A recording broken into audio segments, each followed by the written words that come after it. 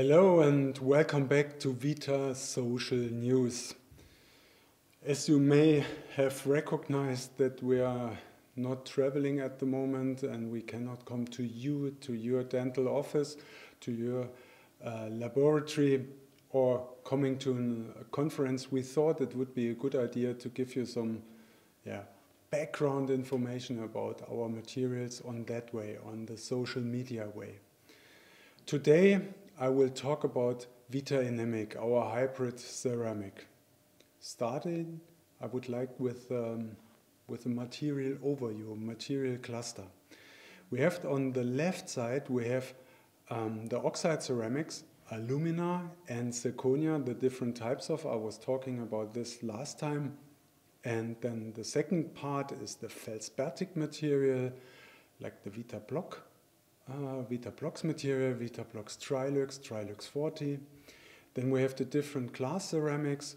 We have, on the one hand, we have lithium disilicates and zirconia reinforced lithium silicates like Vita Suprinity PC.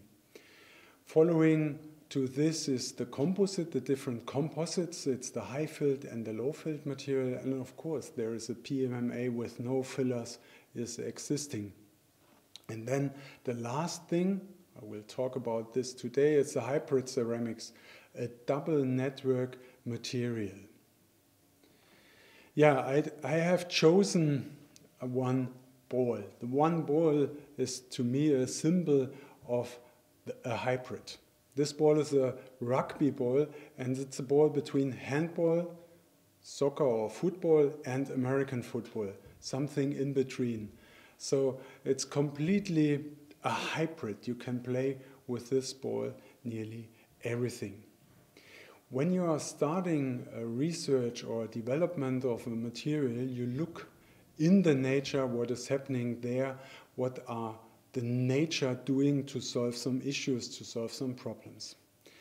And maybe you have seen a sea urchin already. A sea urchin are existing in the Mediterranean Sea or some, somewhere else as well. But we went to the Mediterranean Sea and were looking more closely to the sea urchin. Sea urchin is a very interesting yeah, animal or fish. I don't know what kind it actually is. But we were looking at this together with the University of Tübingen. And we did cut many of the spins of the sea urchin. And when, when you look more closely on the spins of the sea urchin, they are made out of two different, completely different materials. We have on the one side, like the shell, it's like a shell of a hammer, uh, hummer, yeah, of a hummer, a lobster, sorry, I forgot the English word, of a lobster, and inside it's like a Vaseline. So completely different material in every property, completely different. And it's made out of a shell of a lobster in a network filled with the Vaseline. So we did cut many spins, as I mentioned, and also we did break many of the spins. And it's very interesting how they are breaking. They are not breaking directly completely, they are breaking in many different steps. And yeah, we have things coming off and falling off but it's not breaking in one step. To get the first step into it or the first crack into it, we had over 2000 Newton load. Then the load is coming down a little bit and then it's raising and it's about 1500 to get all the next small little cracks into the sea urchin spin. This concept, how the sea urchin is working, we human beings are using this concept since many, many years. We are building houses. We are building houses with the same concept. We are building houses with yeah, over 200 floors. It's no problem because we are using two completely different materials. We had a network out of steel where we fill concrete in. Then we have an artificial material it's reinforced concrete or concrete steel, however you will like it. And one material is for the pressure and the other one is for the tensile. And the same concept we did use for Vita Enamic. We have a ceramic with nearly no deformation before the crack and a plastic with a lot of deformation before we have a real tearing of the material. So two completely different materials. How is it working? How are we producing this block? We are mixing all the color, all the shade into our basis ceramic material. Then we are pressing the block and then we are sintering the block. This is an example how we are doing this. So we are sintering the block to a porous state. So it's not completely dense. So we have still some holes in it, but we have already so-called sinternecks. So it's sticking together. You can start on the one side, going to the other side without touching any hole. Then we take this porous block and we are yeah, infiltrating in this block our polymer. The polymer is sucked into the holes, it's infiltrating in the complete block, and then yeah, the polymerization is a very yeah, high um, and actually a secret uh, production. We are using heat and temperature, and then it's completely densely filled. I mentioned this before, the feldspathic base of the material where all the color is already in. It's about 86 weight percentage. And the polymer, with, which is a mixture out of UDMA and TEGDMA with 14% weight, it's uncolored. So the, the UDMA and TEGDMA is completely without a color. The color is already in the feldspar. It's in the ceramic uh, material. So on the market, there is one question arising when you see this block. Is it a composite or is it a hybrid ceramic? How Vita is calling this block. What are you doing when you do not know something? You are looking in the internet, you are asking Google, or you go directly to Wikipedia. And when we look at Wikipedia, it says clearly that the dental composite it's consisting of an organic plastic matrix which is mixed with inorganic filler particles. And you see directly by reading this sentence Vita Enamic is not a dental composite because we have no filler. We have a network out of ceramic where a plastic matrix is filled in. Then when we look uh, further on publications, on research, there's a publication by Dr. Böhner, and Dr. Böhner says, I think this is a very good sentence, Dr. Böhner says, there is another CAD-CAM block material, Vita Enamic, and it differs from both ceramic material and from composite. So it's something in between. Again, to make it more understandable or make it more obvious for you, I show you the ceramic of the Vita Enamic on the left side and on the right side it's a nano ceramic, so very small nano particles. So it's completely different from this point of view. And what does this mean for you as a customer, for your dentist, for you as a dentist? We look now on the surface of a nanoceramic, completely polished. And if it says ceramic, what are you doing? You normally etch the surface. And then you see the surface is not completely etched, just some particles are etched, and then you see directly that it's not easy to bond this in a normal, normal ceramic workflow. So you have to do something else. You can do something else, you have to sandblast then the surface. Sandblasting the surface, and this is a study by Rosentritt and Behr, sandblasting the surface is not so easy. You have to correct sandblast. You have to use um, 50 microns and approximately 2 bar and then sandblasting it.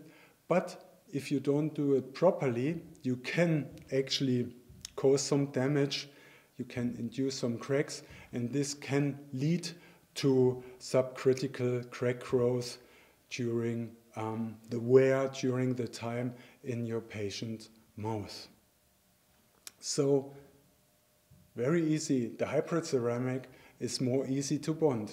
You just yeah, use a hydrofluoric acid and 5 um, percentage of hydrofluoric acid and then 60 seconds and you see directly a perfect edge surface and then you can go on with your ceramic um, workflow with your ceramic bonding workflow. By the way, we will have a tutorial on this as well in the next days. So when we do some testings here at Vita, we look also on abrasion. Abrasion is one topic we always look at. And if you look at the material Vitablocs, which is used since nearly 30 years in in-mouth, in the oral system, we have a lot of data. And we know from a study by Professor Mörmann about the behavior of Vitablocs material. And this is an inlay which was in the mouth for 10 years. And you see that the abrasion pattern of Vitablocs material and enamel is more or less the same. So that's why we look always as a reference on the Vitablocs material and we test every material in focus on, on abrasion. We test every material with Vitablocs. So this is just a study we do here at Vita. It's the so-called toothbrush abrasion test. So we are brushing samples for 32 hours, brushing all the time with toothpaste, Depurdent it's called, maybe you know it, and 32 hours just brushing. And you see here that Vita Enamic, the hybrid material, behaves nearly like the Vitablocs, the pure feldspathic material.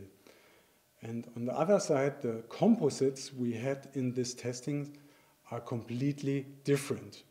Under the SEM, it looks even more clear and obvious to you. Vitablocs, Vita near, nearly no pattern of the toothbrush, whereas 3M Lava Ultimate and Shofu HC show clearly the abrasion pattern of the toothbrush. So you see, Vita Enamic is behaving here like a ceramic.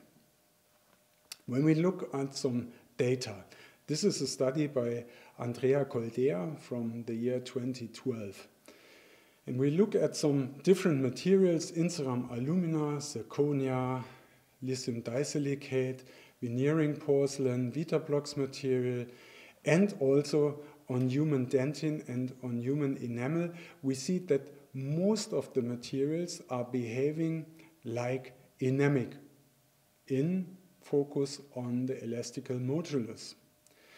Brilliant, Brilliant Crios of Coltene Whaledent has even below the dentin elastical modulus. We did put Vita Enamic, and this is working with um, different networks, different porosities, we did put in the elasticity Vita enamic between dentin and enamel to simulate the tooth behavior as close as it is possible. That's why it's there and it behaves like a tooth. We've seen, for example, the abrasion was like ceramic, was like feldspar, which is abrasive like natural tooth. When we look now on different things, like for example the crack formation when we do flexile strength tests. On the left side we see a traditional silicate ceramic. The traditional silicate ceramic has a crack formation um, in this way, like you see here, and the hybrid ceramic has a flexibility, so flexible formation before it completely cracks. So we think that this is a sign for shock absorbing of a material. So we have a certain level of damage tolerance and we are sure that this absorbs shocks. And especially in the mouth, it's very important if you have, let's say, some implant cases that you have a material which absorbs the shocks coming onto an implant. And also this is tested at the university. We have here a study by Dr. Menini from Genoa in Italy, and she was yeah, comparing different materials to Procera zirconia. Procera zirconia is in her case, it's the reference material, so no, no shock absorbance at all. Zirconia, we all know this, has no shock absorbance. And she was comparing to this material, and you see here in the results that Vita Enamic has a 70 percentage shock absorbance, and it's playing here in the area like microfilled composites and not like a ceramic. For example, a glass ceramic here, lithium disilicate, has only 25% shock absorbance. And here in the overview, you see the skull where and how she was testing the material.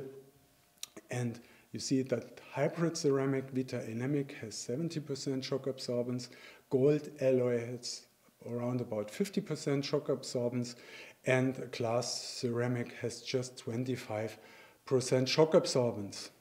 So it is behaving here now, and this shows again the hybrid character, behaving here like a composite.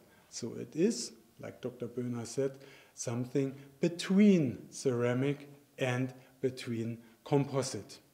And when we look at the studies focused on implant cases, we see, and these are studies from 2002, 2004, 2013, and, and, and, when we look at them, all the studies are saying that for implant cases, there is an advantage for materials which have a shock absorbing behavior.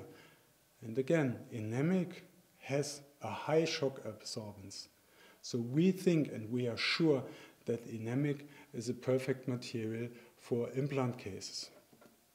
And if you fly now with the Vita air, airplane, think again what kind of material it is. If you need more information than this, go on the Vita webpage, vita-zahnfabrik.com, and you will find some tutorials. You will find also some technical data. You will find a scientific technical um, overview where you can read more than I was talking today.